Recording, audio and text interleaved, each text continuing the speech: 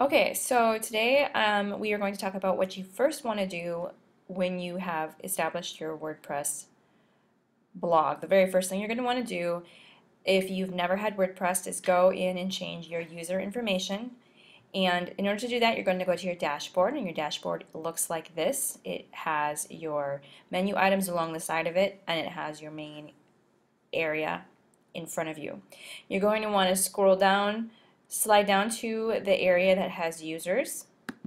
This is right here. And on the drop down, you want to go to your profile. That's the first thing you want to change. Don't worry about anybody else's.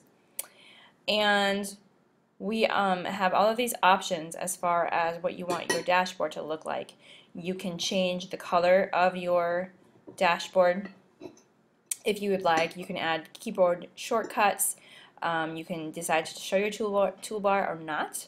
And this is where I want us to start to pay attention. Here is where you can put in some information that will show up on your site and is useful. You're going to want to put in your first name, you're going to want to put in some of your information like your nickname.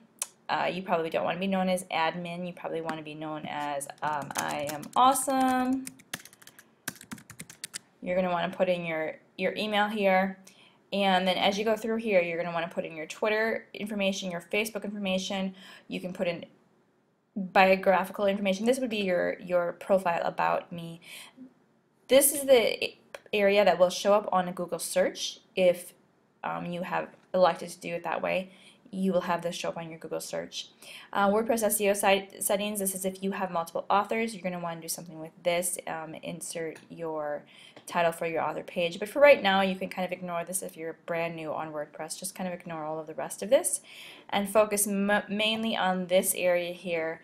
I want you to um, get that filled out. This Google Plus area, you want to go in and get your profile, your URL for your profile for Google Plus, put this in, and because of the HTML5 information, um, you will be authenticated as an author of your site. So there you go. So right now you are going to be known as I am awesome because I got that fixed for you. So that is how you change your information in